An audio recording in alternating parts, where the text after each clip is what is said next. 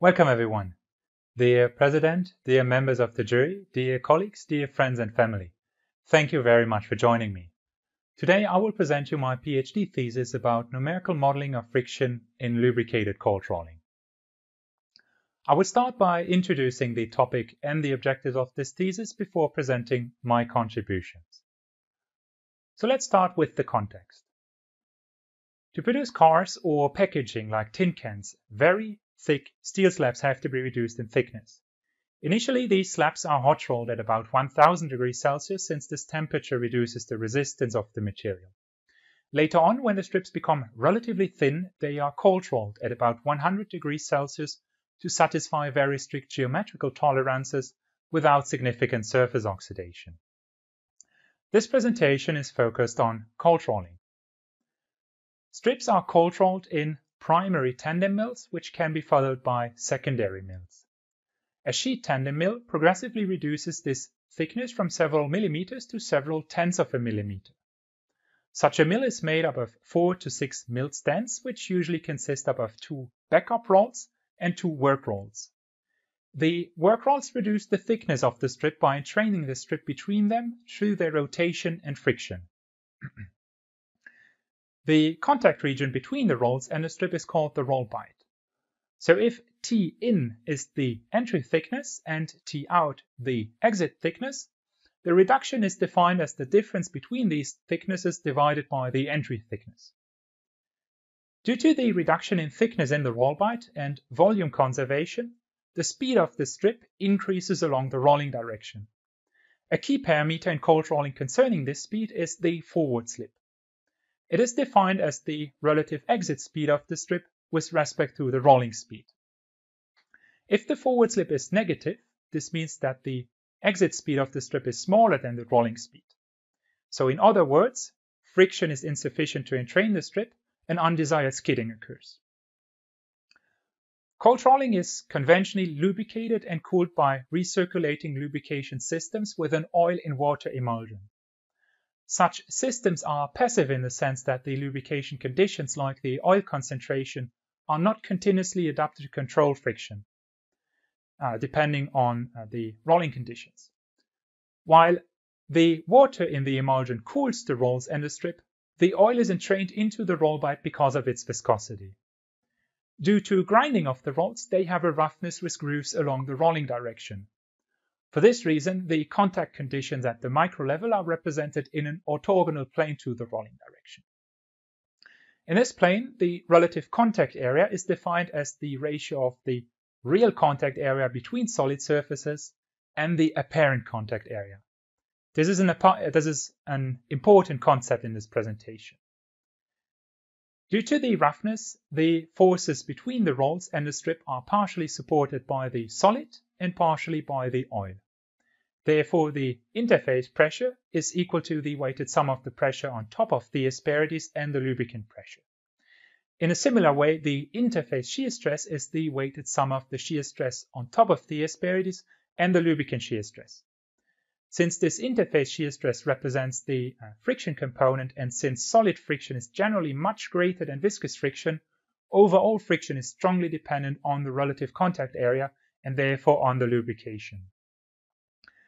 The interface shear stress applied to the strip can be represented as shown in this figure.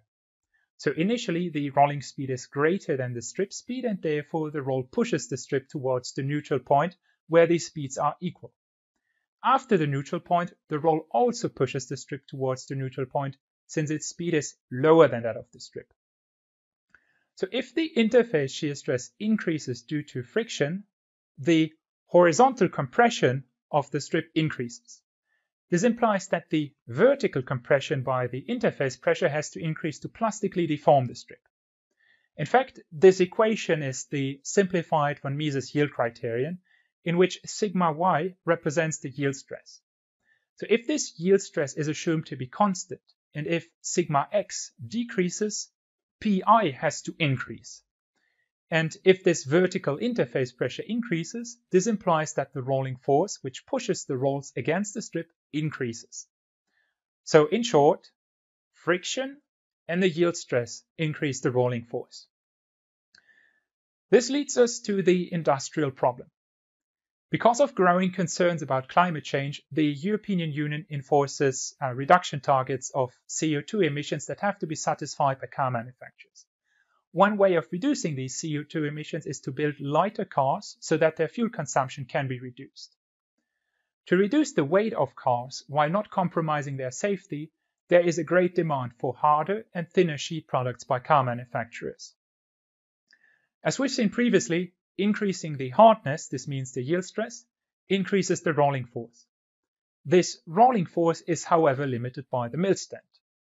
So while this was no significant problem in the past, today advanced high-strength steel strips are so hard that this force limit can be reached. So in other words, some products can simply not be produced. Previously, we have however also seen that friction increases the rolling force.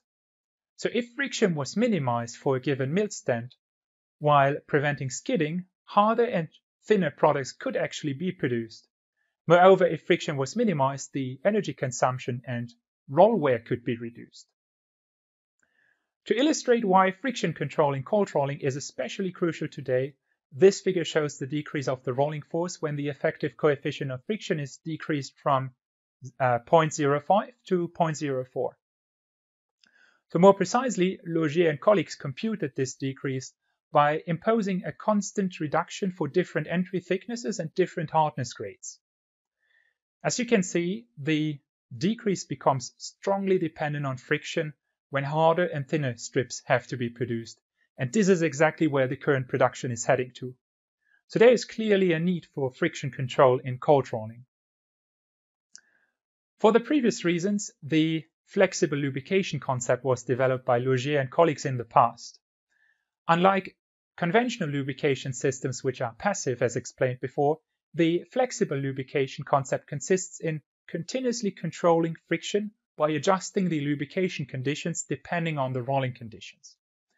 One application of this concept, which was developed at ArcelorMittal uh, uh, is the addition of a flexible lubrication system to a conventional system as shown in this figure on the left. Unlike the conventional system, the flexible system is able to adjust the oil concentration in the emulsion by a static mixer so that friction can be controlled. Besides this effective control system, a predictive tool is required. This tool should be able to determine the optimal lubrication conditions like the oil concentration or its viscosity depending on the rolling conditions like the rolling speed or the product characteristics. For this reason, extensive research has been carried out in the past. Nonetheless, no complete predictive tool exists so far because some physical mechanisms cannot be modeled satisfactorily yet, and because individual models of mechanisms could not be combined in one full model yet. Hence, the general objective is to accurately model friction in lubricated cold rolling to minimize friction while preventing skidding by flexible lubrication. In this thesis specifically, several intermediate targets were defined to converge towards this objective in the long run. The first intermediate target is to determine the most important physical mechanisms in cold rolling based on the most extensive experimental data available to include them afterwards in the model. Secondly, the most promising model so far, this means the Metaloop model has to be rederived, documented, and extended to include the physical mechanisms that were determined previously. Based on the experimental data, the predictive capabilities of this model then have to be evaluated to uh, precisely determine its shortcomings. One of its shortcomings is missing MPH lubrication. This means microplasto-hydrodynamic or hydrostatic lubrication, which I will explain uh, afterwards. Therefore, the Fourth objective is to introduce MPH lubrication by finite element simulations of asperity flattening in Metaloop. Since these finite element simulations have their own shortcomings, the fifth objective is to explore modeling MPH lubrication by smoothed particle hydrodynamics. So let's start with the experimental data. As I said, the objective was to determine the physical mechanisms to model and to have data to validate the model afterwards.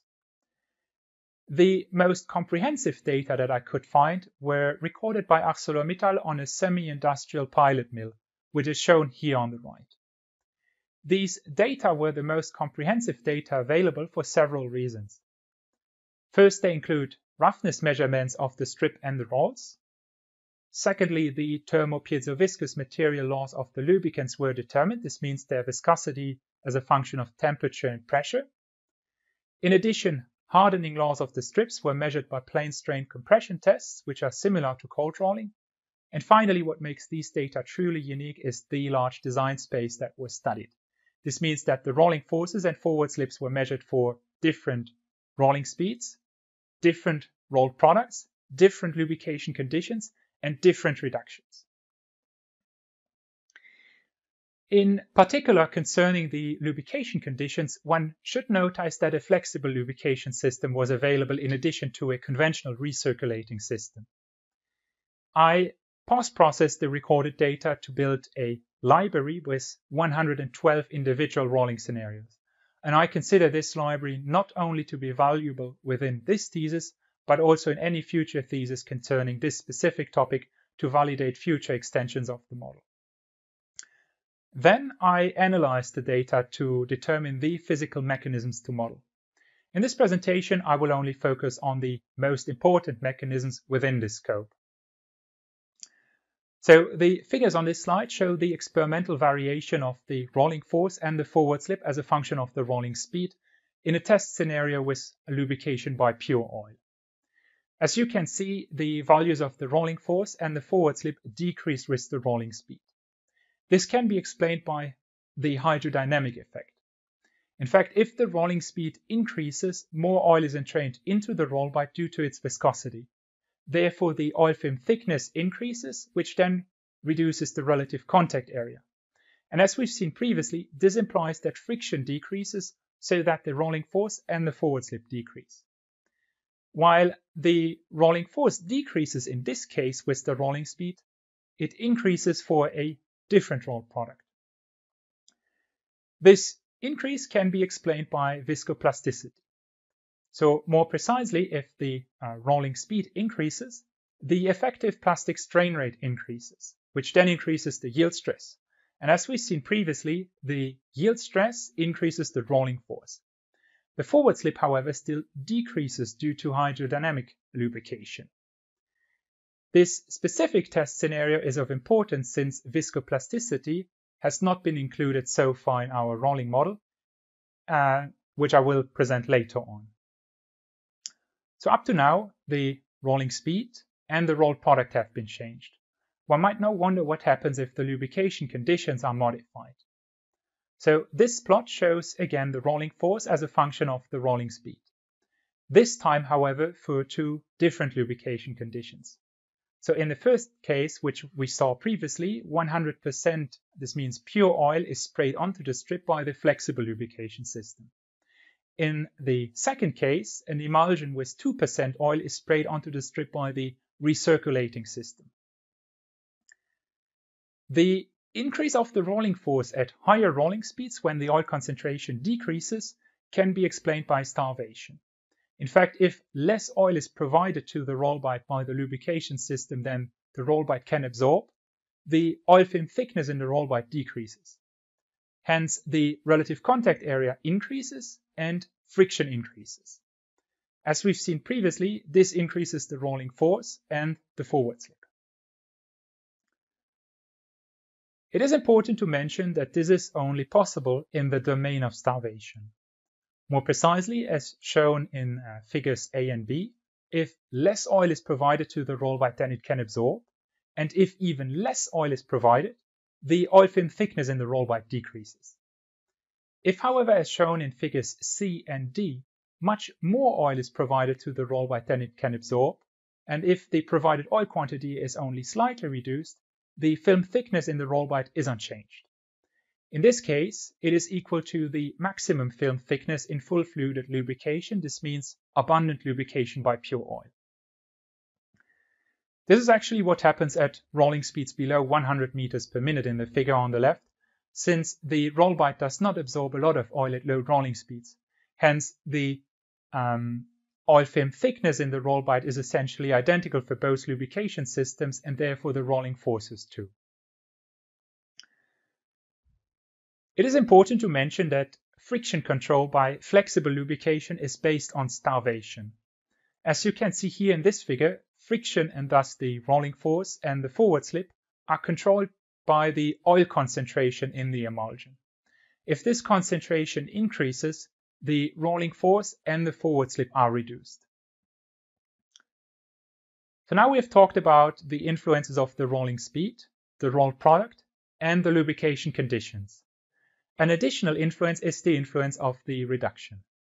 Therefore, the rolling force and the forward slip are now represented as a function of the reduction. Their increases can be explained by the changing geometry in the roll bite among other effects.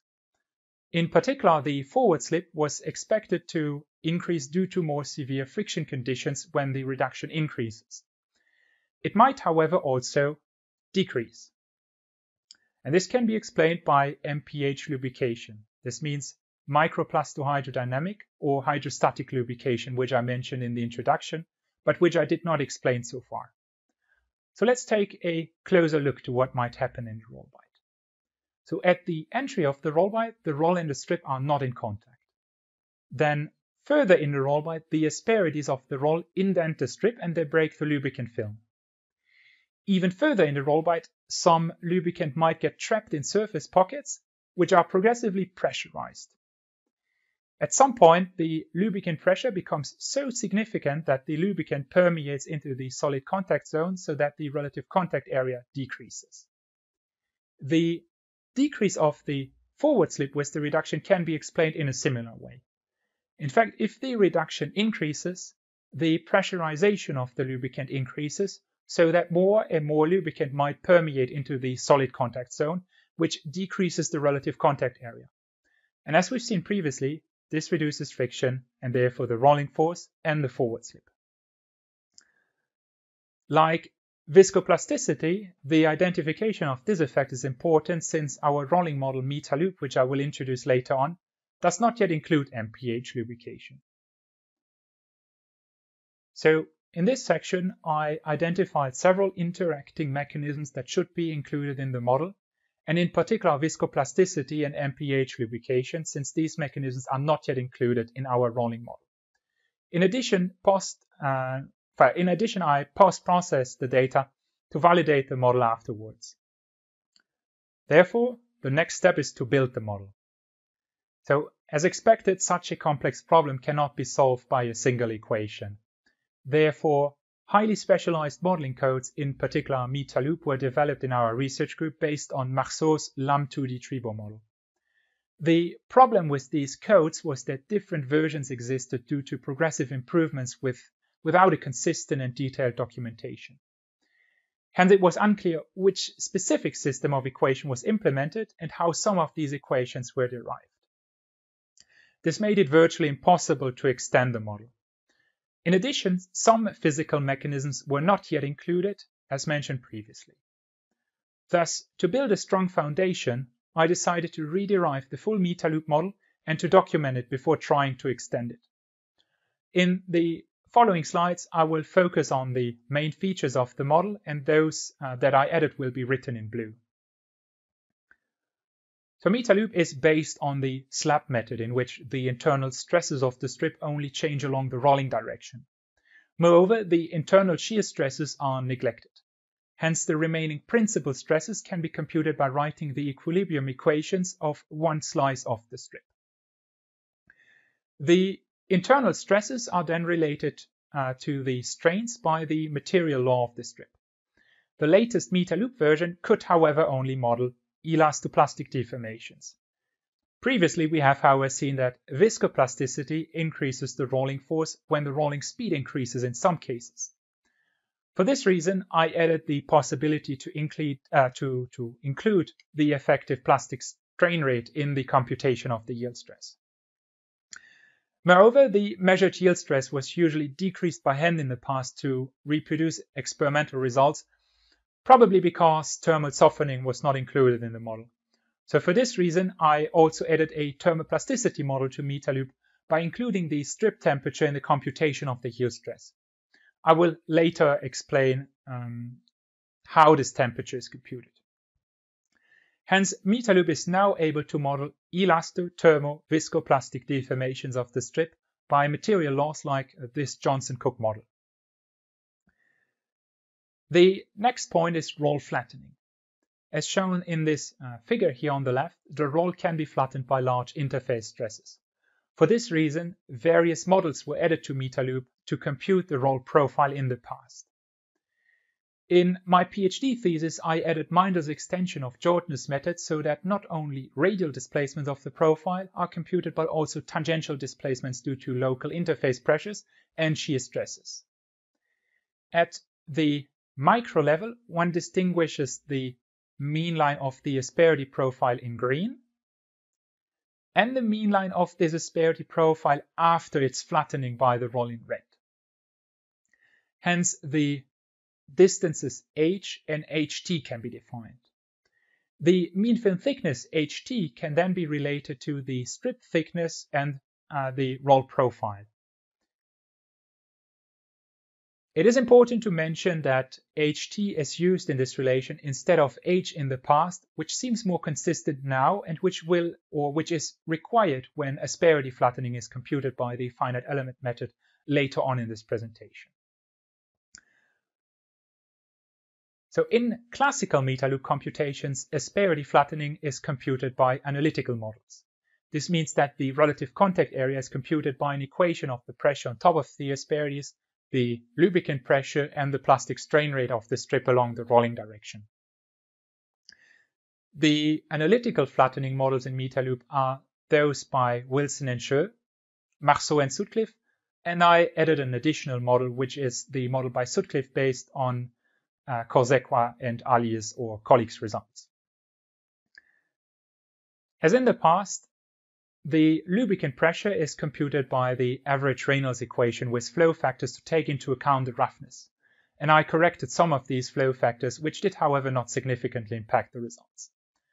The lubricant shear stress is computed by the product of the viscosity and the speed differential between the roll and the strip, which is divided by the mean film thickness in the valleys. And I also added the shear stress factor approach by Patir and Cheng, which was however not extended to large relative contact areas.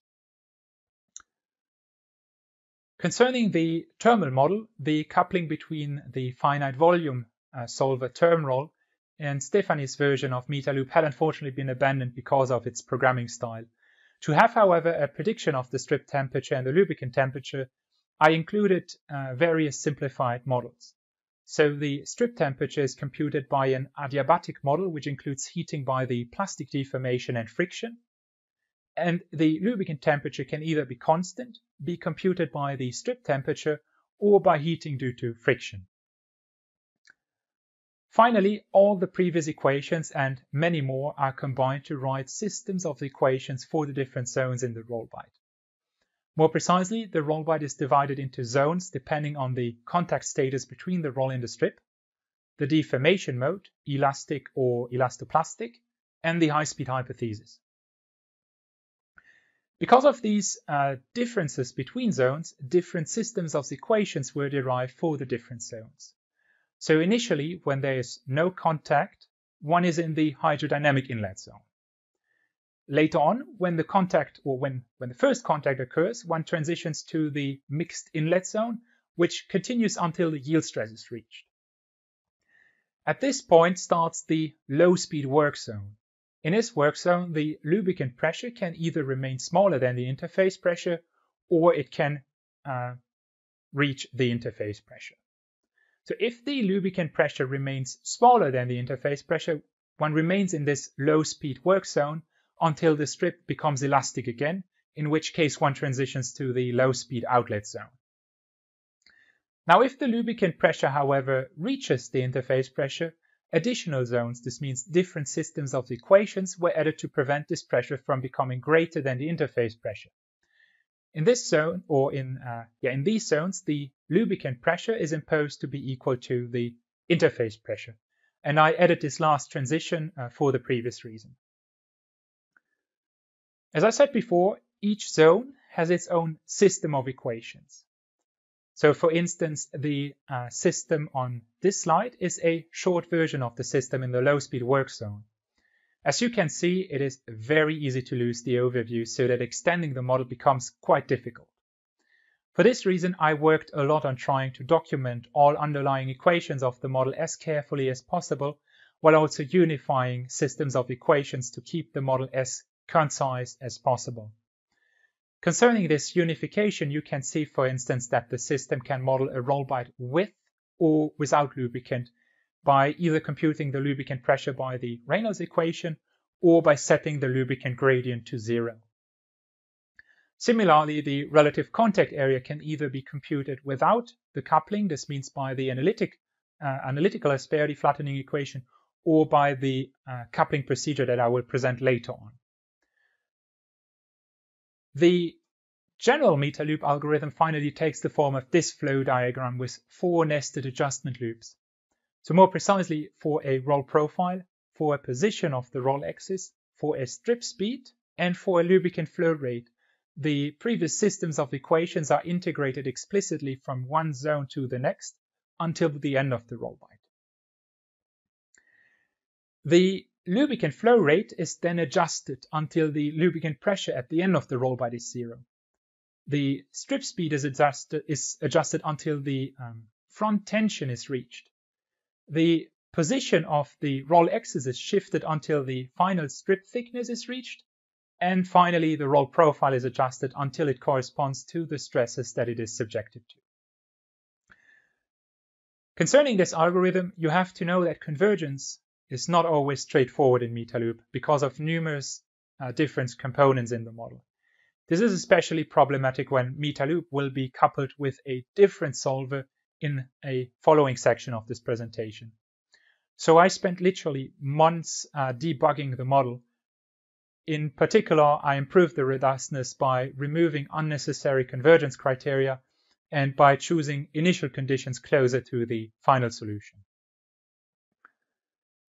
Besides rederiving, documenting, and extending the model, I completely refactored its implementation by my former colleague Yves Carretta.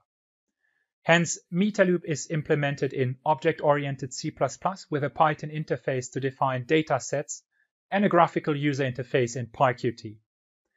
This means that Metaloop is not a MATLAB code that disappears after the thesis, but it is a real research and industrial software solution with state-of-the-art design choices. The figures on this slide show a Python data set on the left and the graphical user interface. So currently, the core functionalities of Metaloop are implemented on 21,000 C++ lines, and in addition, more than 200 tests are run before any software modification to prevent any regressions. In particular, I worked a lot on improving the robustness of the software and its coding style to facilitate its development in the long run. So now, after talking a lot about this model, it is about time to evaluate its predictive capabilities and shortcomings. Like any numerical model, Metaloop contains numerical parameters, like integration steps or convergence tolerances. In the past, the model contained so many parameters that their calibration was essentially only possible by trial and error. I improved this situation by reducing the number of parameters which can be seen here on the left uh, for each layer of the Metaloop algorithm. And I calibrated these parameters systematically for the first time to have a numerical error estimation, to reduce the computation time, and to prevent any non-convergence. This last point is especially important due to the nested loop structure of Metaloop. This means that if numerical parameters of an inner adjustment loop like the integration steps delta x are not strict enough with respect to tolerances of an outer loop, like this tolerance of the front tension, the uh, convergence is not always possible. This is illustrated here on the right by showing uh, the iterative adjustments of the strip speed to reach the imposed front tension. And as you can see, it might be impossible for the prediction, this means uh, these dots, to fall into the tolerance interval if, for instance, the integration steps are not small enough. So after calibrating the numerical tolerances, I try to evaluate the predictive capabilities of the model based on the data that we've seen previously. So here in these figures, the rolling force and the forward slip are again shown as a function of the rolling speed. The blue curves are the experimental results, the green curves are the old predictions, and the red curves are the new predictions. And as you can see, there is an overall improvement of the old predictions and especially of the forward slip. To obtain these results, the boundary, uh, the, uh, boundary coefficient of friction was adjusted as in the past, and instead of adjusting the yield stress due to thermal softening, the thermoplasticity coefficient was adjusted. Moreover, the lubricant temperature at the entry of the roll bite was assumed to be constant, and the lubricant shear stress was neglected in the roll bite by assuming that the viscosity becomes very small due to heating by friction between the rolls and the strip. So there's clearly room for improvement by a more accurate temperature prediction of the lubricant in the future. The next rolling scenario is the one with starvation. There is again an overall improvement by the new predictions in red. And as you can see in the uh, top right corner, starvation is modeled in Metaloop by assuming that the lubricant pressure only starts to increase when the distance between the roll and the strip becomes smaller than the lubricant film thickness at the entry of the roll bite. Since this thickness is computed in the model, or is, uh, is not computed in the model rather, but manually adjusted, a film formation model should be added to Metaloop in the future. So previously we saw that the rolling force can also increase with the rolling speed due to viscoplasticity. After the implementation of viscoplasticity, you can see in this figure that the new predictions in red are significantly better to the uh, old predictions than the old predictions, I mean. These all predictions were actually obtained by assuming that the underlying physical mechanism is starvation, which seems, however, inconsistent considering that a pure oil was sprayed onto the strip in this test. The shortcoming of the model in terms of its predictive ability is that the viscoplasticity coefficient, like the thermoplasticity coefficient before, was not experimentally identified but adjusted. Finally, the rolling force and the forward slip can also be predicted as a function of the thickness reduction instead of the rolling speed. In this case, there existed no old prediction, but as you can see in green, Metaloop predicts the experimental results relatively well. The prediction can, however, be improved by decreasing the boundary, uh, the boundary coefficient of friction with the reduction. So as shown in the uh, top right corner, this boundary coefficient of friction is used in the computation of the shear stress on top of the asperities. Hence, the improvement by the reduction of this coefficient with the reduction suggests that a physical mechanism is missing in the model. And this mechanism might be microplasto hydrodynamic or hydrostatic lubrication. The influence of this mechanism is even more important in uh, this second rolling scenario that I showed you previously, so that there is clearly a need for modeling MPH lubrication in Metaloop. This brings us to the fifth section of this presentation about finite element asperity flattening in Metaloop. So conventionally, the relative contact area, the pressure in the solid contact zone, the lubricant pressure, and the plastic strain rate along the rolling direction are related by analytical asperity flattening equations in Metaloop. For instance, the equation on this slide is the asperity flattening equation by Wilson and Sheu. These analytical equations, however, have some limitations. So first, they were derived by simplified geometries like flat indenters in the example. Secondly, they were derived by simplified material laws like a rigid perfectly plastic material. Thirdly, they were derived by approximate methods like the upper bound method in the case of Wilson and Sheu. And finally, these models do not take into account MPH lubrication. Therefore, the next objective is to introduce an enhanced finite element asperity flattening model with MPH lubrication in Metaloop. My former colleague Yves Carretta had already been working on this problem in the past. In fact, he developed the first finite element model capable of simulating MPH lubrication, however in plane strip drawing and not in cold drawing. In this model, strip drawing is simulated with a macroscopic lubricant pocket in our in-house finite element solver Metafor. In particular, the lubricant flow is simulated by the arbitrary Lagrangian Eulerian formulation. In this way, the material flow is uncoupled from the mesh to prevent mesh distortions. Since the lubricant can, however, only flow inside of the mesh, artificial lubricant pipes had to be added to the model so that the lubricant could permeate into the solid-solid contact zone.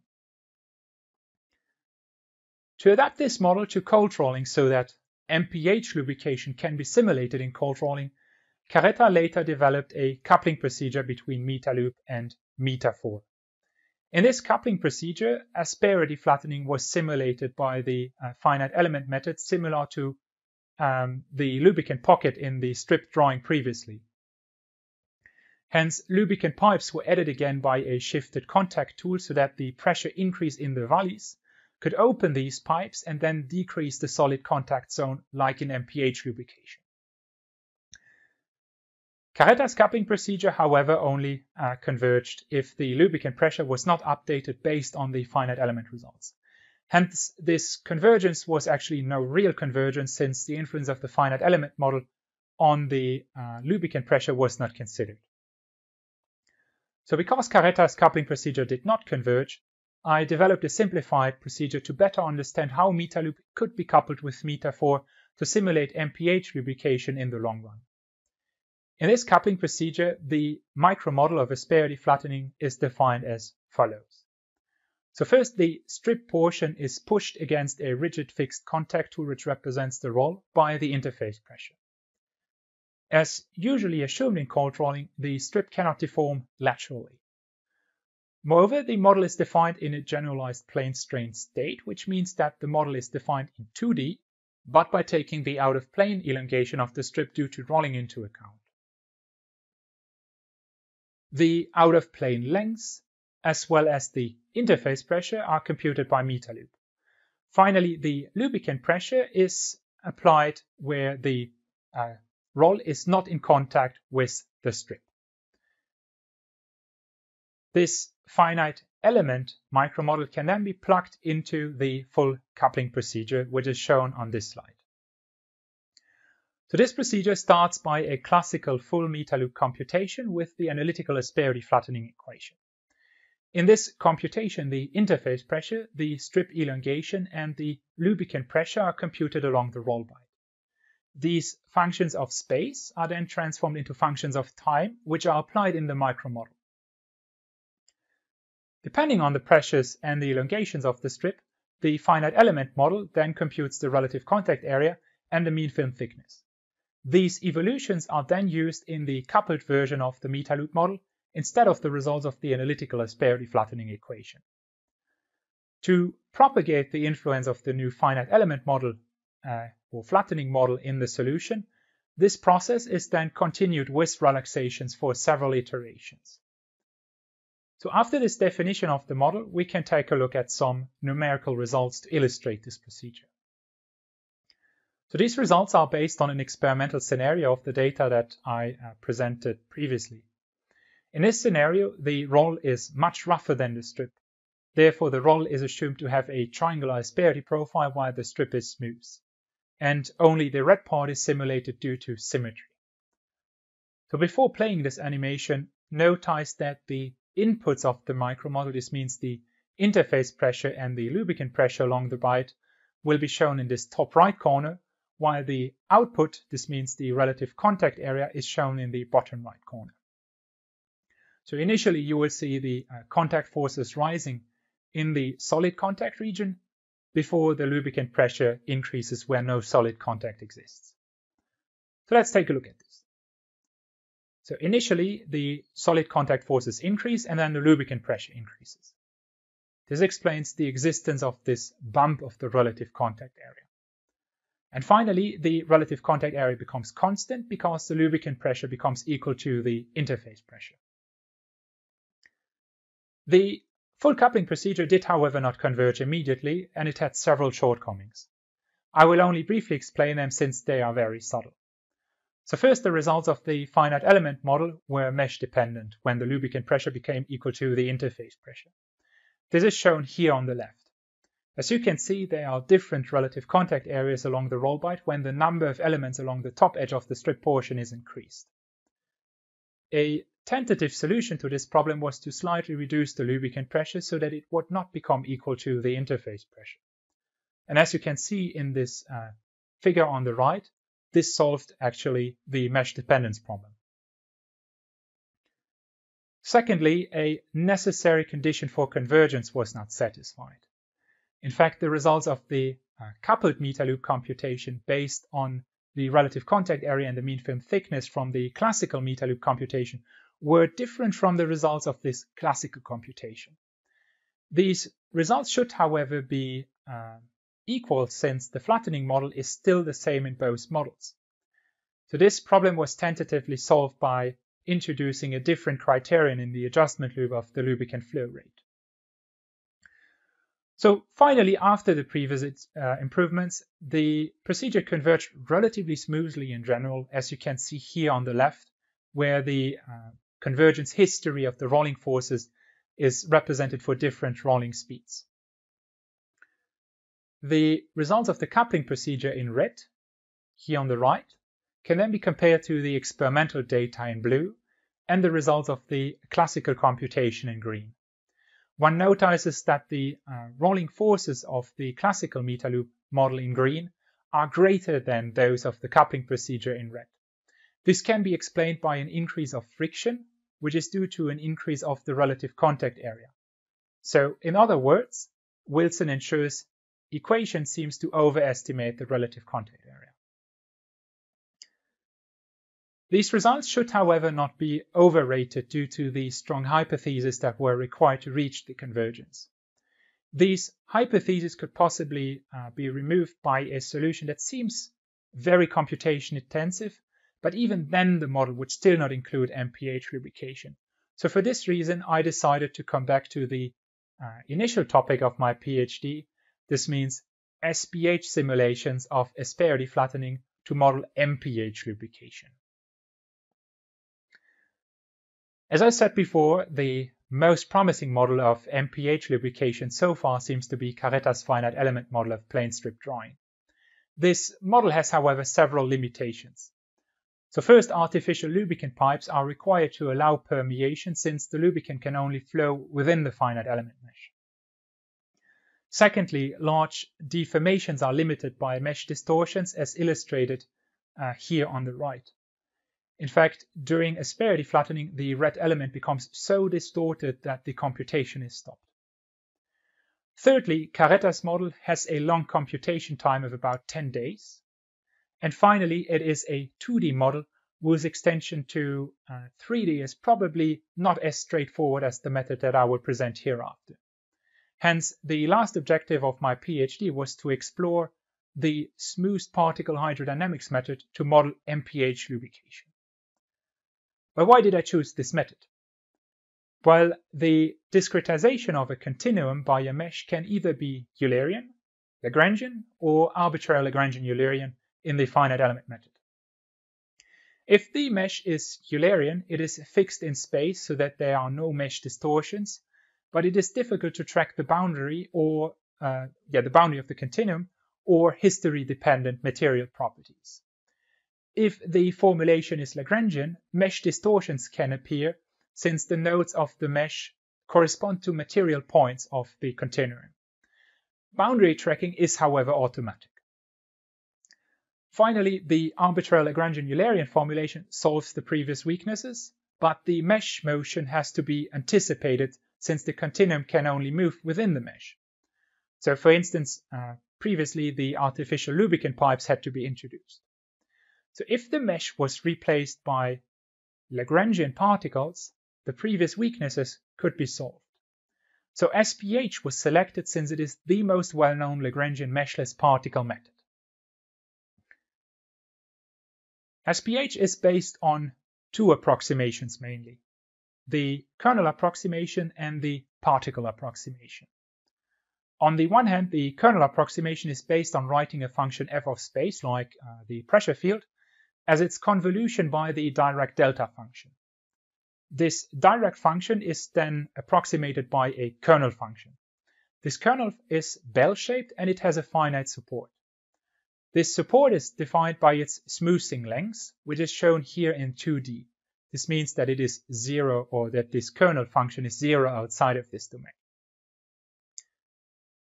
On the other hand, the particle approximation consists in replacing the integral by the sum over the particles within the support domain of the kernel function. This has the advantage that the gradient of the function can be evaluated by the gradient of the kernel function.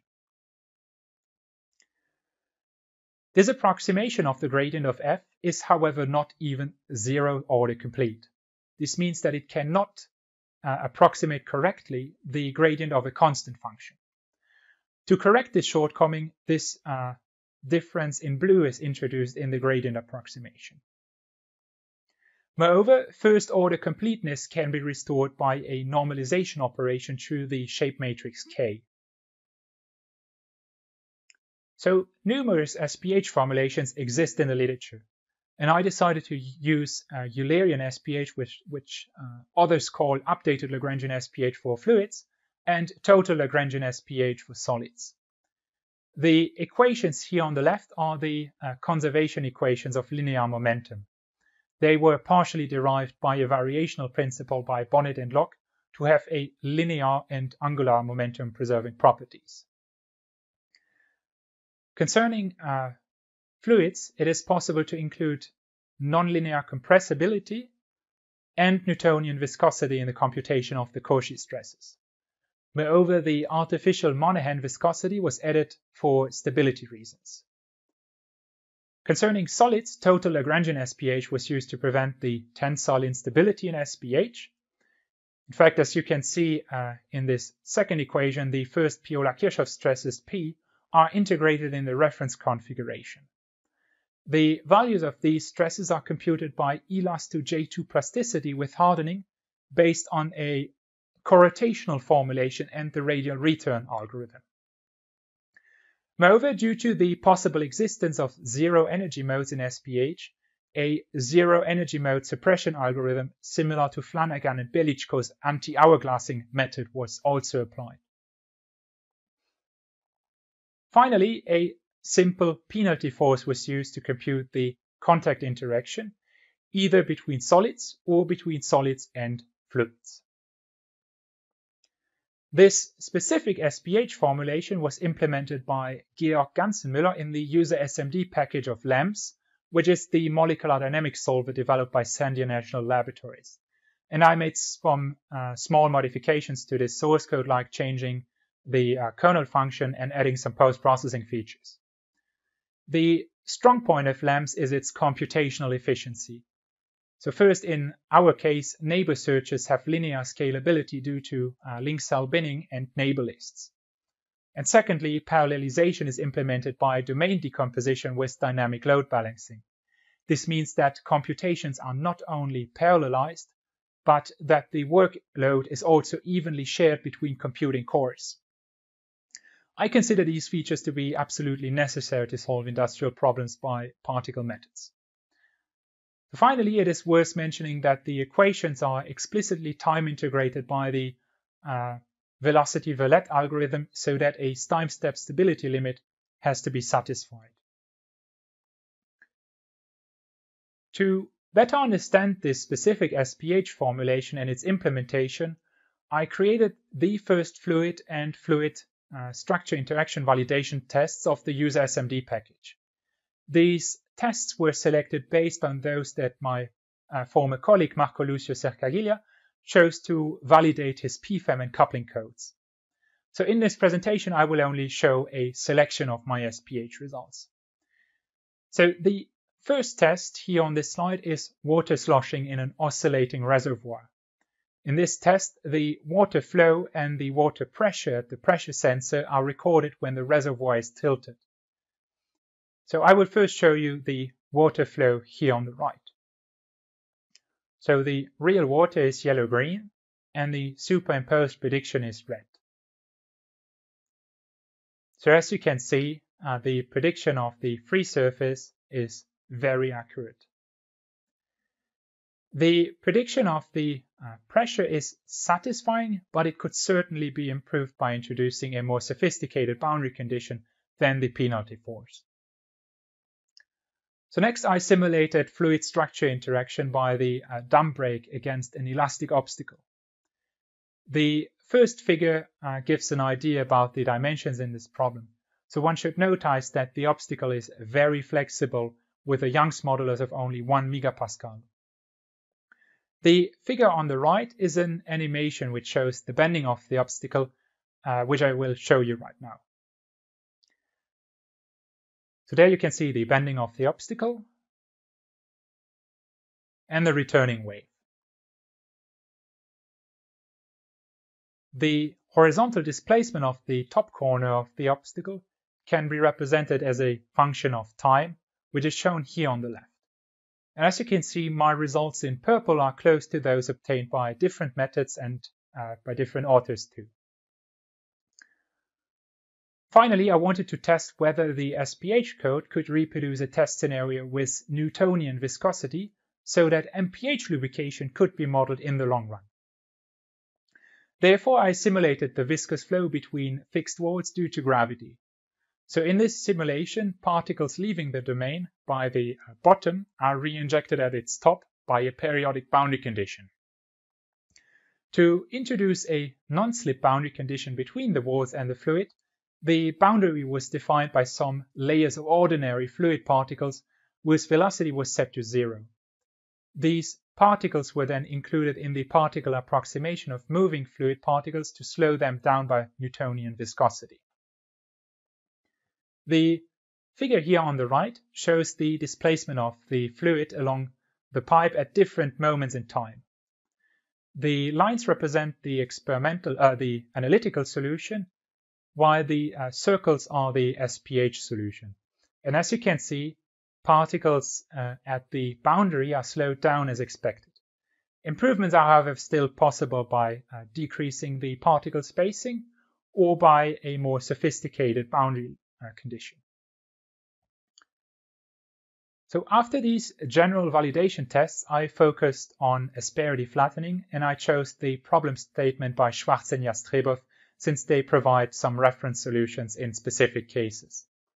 So in this problem statement, elastic perfectly plastic steel with a wavy surface is pushed against a rigid horizontal plane. The surface pockets between the steel and the plane are partially filled by a non-linearly compressible oil, and I wanted to compute the relative contact area as a function of the interface pressure that pushes the strip against the plane. So to solve this problem, I followed a progressive resolution strategy. First, I studied the compression of an elastoplastic solid, then dry asperity flattening, and afterwards the compression of a fluid, and finally lubricated asperity flattening. So in this presentation, I will only focus on dry and lubricated asperity flattening though. Due to the periodicity of the geometry, the compression of the solid with a single pocket is simulated by preventing the horizontal displacement of the vertical edges. The compression is then achieved by imposing the upward speed of the bottom edge. The discretization of this problem is illustrated with the contact cir circles here in the uh, top left corner. Although boundary tracking is automatic in SPH, you can see that the boundary is less well discretized by particles than by Lagrangian meshes so far. And since I used a uniform particle distribution, I had to increase the amplitude of the asperity to 20 microns instead of 2 micrometers to not unnecessarily need millions of particles to discretize the asperity profile. In my computation, I used uh, 36,000 particles, and the computation time was about 4.5 hours on 12 cores. This performance can obviously be improved by locally refining or coarsening the discretization in the future. The relative contact area is computed by the uh, contact status of the particles of the uh, rigid horizontal plane as illustrated here in the uh, figure in the top right corner. So let's take a look at the results.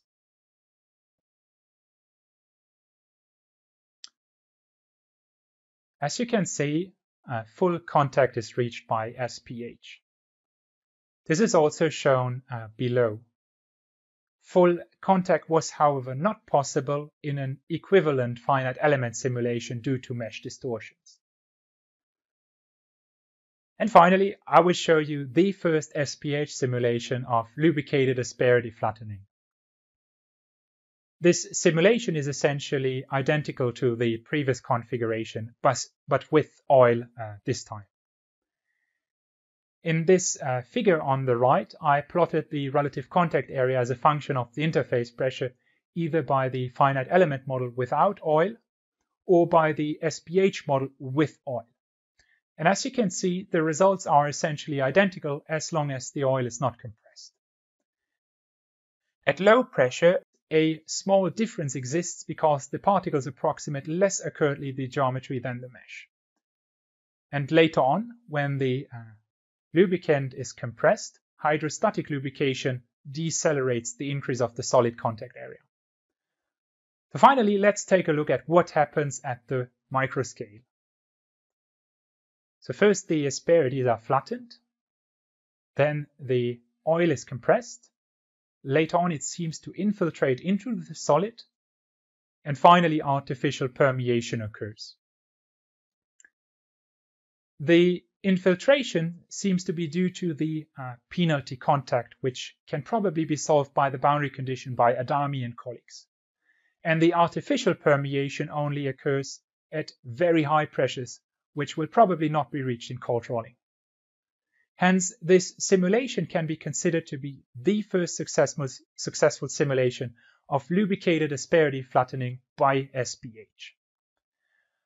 One might finally wonder whether MPH lubrication can be simulated by SPH. And the answer is not yet. In fact, the method is able to simulate very complex problems, but further developments are still required to solve its current shortcomings. This means the uh, penalty boundary condition, as I explained previously, and the computation time when the particle size decreases. So in conclusion, I post-processed and analyzed the most comprehensive available experimental data of lubricated cold rolling. Based on these data, I re-derived, documented, extended, and refactored the Metaloop model and its implementation. Due to its numerous features and state-of-the-art implementation, it is one of the most powerful models of lubricated cold rolling on the planet. Later on, I evaluated Metaloop's predictive capabilities based on the previous data. Thus, all predictions were improved by this model, uh, which however has still some uh, shortcomings like missing MPH lubrication. For this reason, the first coupling procedures between Metaloop and finite element models of lubricated asperity flattening, including the strip elongation, were developed. Their convergence was, however, uh, linked to strong hypotheses, so that I continued my research by exploring an alternative simulation method. Hence, I simulated complex validation tests of fluid structure interaction for the first time by the LAMMPS user SMD code. And finally, I created the first SPH models of dry and lubricated asperity flattening. Concerning the outlook, I suggest several future research perspectives in my thesis with precise steps about their implementation and with complementary references. First, a full thermal model like ThermRoll should be incorporated into the Metaloop software project to have a prediction of the lubricant temperature, which is missing so far. Secondly, instead of trying to couple very complex codes like Metaloop and Metafor, I suggest an analytical MPH lubrication model in my thesis based on the work by Ahmed and Sutcliffe. By this model, the relative contact area would be decreased in Metaloop as a function of variables that favor MPH lubrication so that friction is reduced by this lubrication mechanism. Thirdly, a lubricant film formation model like Casarini's model should be coupled with Metaloop to predict the film thickness at the entry of the bite. Then the extension of experimental data could eliminate modeling uncertainties like the viscoplasticity coefficient. And finally, the computation time of SPH simulations could be decreased by refinements of the discretization while Adami's boundary condition could solve the infiltration problem. This SPH model could then serve as a complementary model to the analytical MPH model in Metaloop. This concludes my presentation.